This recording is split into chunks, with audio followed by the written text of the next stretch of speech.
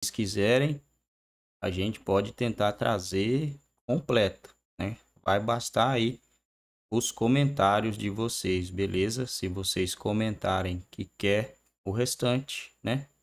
Ainda não viram, se não tiverem visto ainda, eu vou tentar trazer é, o restante do vídeo aí, beleza? Mas por enquanto, vou estar tá encerrando aqui com 22 minutos. Deu para ter é, uma base, né? Eu acho que o presidente Bolsonaro vai ficar rodando o mundo fazendo isso daí, né? Dando pro ex-presidente, né?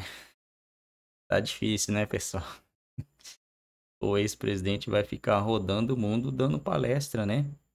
Por um lado, é muito bom que ele vai mostrar para o mundo aí, né? O, o, o que ele fez no seu governo, mostrar, tentar mostrar a situação que se encontra o nosso país agora e não voltar para o Brasil no momento, né, que ele corre o risco de voltar e ir direto para o xadrez. Os caras vão achar alguma maneira de prender ele, vão, vão achar alguma coisa para acusar ele. Isso daí não tem dúvida, né? Eu acho que é por isso que ele ainda não veio para o Brasil. Acho que não voltará. Mas pode ser que volte também, né?